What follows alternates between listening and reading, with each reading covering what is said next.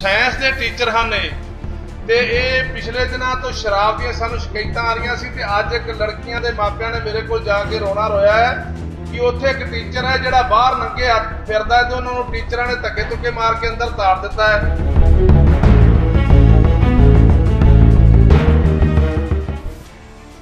ਫਿਰੋਜ਼ਪੁਰ ਜ਼ਿਲ੍ਹੇ ਦੇ ਪਿੰਡ ਮਹਿਮਾ ਵਿਖੇ ਸਰਕਾਰੀ ਸਕੂਲ ਵਿੱਚ ਇੱਕ ਅਧਿਆਪਕ ਦੀ ਨਸ਼ਾ ਕਰਕੇ ਨੰਗਾ ਘੁੰਮਣ ਦੀ ਵੀਡੀਓ ਸੋਸ਼ਲ ਮੀਡੀਆ ਤੇ ਬੜੀ ਤੇਜ਼ੀ ਨਾਲ ਵਾਇਰਲ ਹੋ ਰਹੀ ਹੈ। ਵਾਇਰਲ ਹੋ ਰਹੀ ਵੀਡੀਓ ਦਾ ਸੱਚ ਪਤਾ ਕਰਨ ਲਈ ਜਦੋਂ ਗੱਲ ਪੰਜਾਬ ਦੀ ਟੀਮ ਸਕੂਲ ਪਹੁੰਚੀ ਤਾਂ ਪਤਾ ਲੱਗਾ ਕਿ ਪਿੰਡ ਦੇ ਲੋਕਾਂ ਨੇ ਵੀਡੀਓ ਬਣਾ ਕੇ ਖੁਦ ਵਾਇਰਲ ਕੀਤੀ ਹੈ।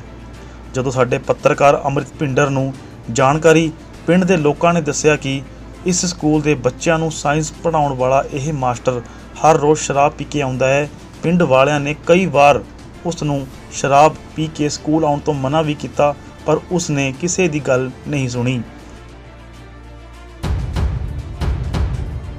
ਵਾਹਿਗੁਰੂ ਜੀ ਕਾ ਖਾਲਸਾ, ਵਾਹਿਗੁਰੂ ਜੀ ਕੀ ਫਤਿਹ।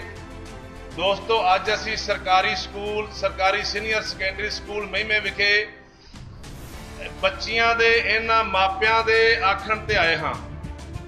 ਆਏ ਕਿਉਂ ਹਾਂ ਕਿ ਇੱਕ ਟੀਚਰ, ਕੀ ਇਹਨਾਂ ਦਾ ਗੁਲਸ਼ਨ ਜੀ ਗੁਲਸ਼ਨ ਜੀ ਨਾਮ ਹੈ? ਗੁਲਸ਼ਨ ਕੁਮਾਰ ਜੀ ਕਿਹੜੇ ਵਿਸ਼ੇ ਨੂੰ ਪੜਾਉਂਦੇ ਨੇ ਜੀ? ਸਾਇੰਸ ਦੇ ਟੀਚਰ ਹਨ ਇਹ।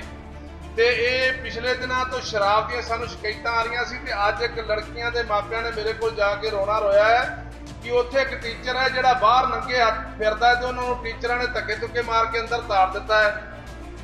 ਇਹਨੂੰ ਅੰਦਰ ਤਾੜਿਆ ਤੇ ਵੇਖੋ ਗਲ ਦੇ ਵਿੱਚ ਕੱਪੜਾ ਨਹੀਂ ਕੋਈਗਾ ਅੰਡਰਵੀਅਰ ਅੰਡਰਵੀਅਰ ਦੇ ਵਿੱਚ ਇੱਥੇ ਵੱਡੀ ਪੱਧਰ ਦੇ ਵਿੱਚ ਨੌਜਵਾਨ ਲੜਕੀਆਂ ਵੀ ਪੜ੍ਹਦੀਆਂ ਹਨ ਜਿਹੜੀਆਂ ਟੀਚਰ ਲੇਡੀਜ਼ ਹਨ, ਉਹ ਵੀ ਇੱਥੇ ਪੜ੍ਹਾਉਂਦੀਆਂ ਹਨ। ਤੇ ਇਹੋ ਜਿਹੇ ਟੀਚਰ ਦੇ ਉੱਤੇ ਕਾਨੂੰਨੀ ਕਾਰਵਾਈ ਜ਼ਰੂਰ ਤੋਂ ਜ਼ਰੂਰ ਚਾਹੀਦੀ ਹੈ। ਮੈਂ ਸੰਬੰਧਿਤ ਮਹਿਕਮੇ ਨੂੰ ਵੀ ਕਹਾਂਗਾ ਕਿ ਇਸ ਟੀਚਰ ਦੀ ਚੰਗੀ ਤਰ੍ਹਾਂ ਸ਼ਨਾਖਤ ਕਰਕੇ ਇਹਦੇ ਤੇ ਕਾਨੂੰਨੀ ਬਣਦੀ ਕਾਰਵਾਈ ਕੀਤੀ ਜਾਵੇ। ਤਾਂ ਜੋ ਸਿੱਖਿਆ ਦਾ ਮਹਿਕਮਾ ਜਿਹੜਾ ਹੈ, ਜਿਹੜੇ ਪੰਜਾਬ ਸਰਕਾਰ, ਸਕੂਲ ਸਿੱਖਿਆ ਬੋਰਡ ਹੈ, ਉਹ ਜਿਵੇਂ ਸਾਡੇ ਲੋਕਾਂ ਦੇ ਮਨਾਂ ਤੋਂ ਲੱਥਾ ਪਿਆ ਹੈ ਤੇ ਉਹ ਨਹੀਂ ਕੰਮ ਕਰ ਰਿਹਾ, ਇਹ ਜੀ ਗੱਲ ਨਾ ਆਵੇ ਲੋਕਾਂ ਦਾ ਜਿਹੜਾ ਮਨ ਹੈ, ਉਹ ਹੋਰ ਸਕੂਲ ਸਿੱਖਿਆ ਤੋਂ ਜ਼ਿਆਦਾ ਭੰਗਣਾ ਹੋਵੇ, ਮੋਹ ਭੰਗਣਾ ਹੋਵੇ। ਇਸ ਵਾਸਤੇ ਇਹਨਾਂ ਅਧਿਆਪਕ ਸਾਹਿਬ ਤੇ ਗੁਲਸ਼ਨ ਕੁਮਾਰ ਤੇ ਇਹਦੇ ਤੇ ਜਿਹੜੀ ਹੈ ਨਾ ਸਖਤ ਕਾਰਵਾਈ ਹੋਣੀ ਚਾਹੀਦੀ। ਵਾਹਿਗੁਰੂ ਜੀ ਕਾ ਖਾਲਸਾ।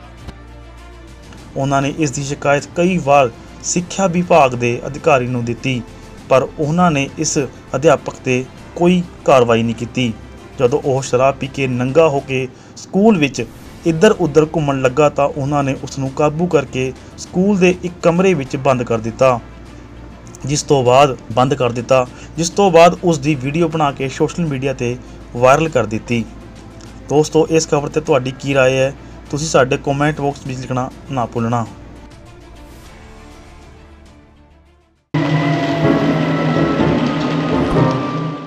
ਸਤਿ ਸ੍ਰੀ ਅਕਾਲ ਦੋਸਤੋ ਕਿਵੇਂ ਹੋ ਉਦਾਂ ਹੀ ਮੈਂ ਗੱਲ ਪੰਜਾਬ ਦੀ ਟੀਵੀ ਦਾ ਸਭ ਤੋਂ ਦਲੇਰ ਐਂਕਰ, ਤੁਹਾਡਾ ਆਪਣਾ ਅਮਰਤ ਪਿੰਡਰ। ਯਾਨੀ ਕਿ ਲੰਗੜਾ ਐਂਕਰ, ਸਿੱਧੂ, ਪਤਾ ਨਹੀਂ ਕਿਨੂੰ ਕਿਨੂੰ ਮਿੱਦੂ ਨਾ ਫਾਲਤੂ ਦੀ ਪਕਾਈ ਤੇ ਨਾ ਵਾਧੂ ਦੀ ਚਬਰ ਚਬਰ ਮੈਂ ਕਰੂੰਗਾ ਪੇਸ਼ ਕਰਕੇ ਕਦੂਕਸ। ਹਰ ਵਾਇਰਲ ਖਬਰ।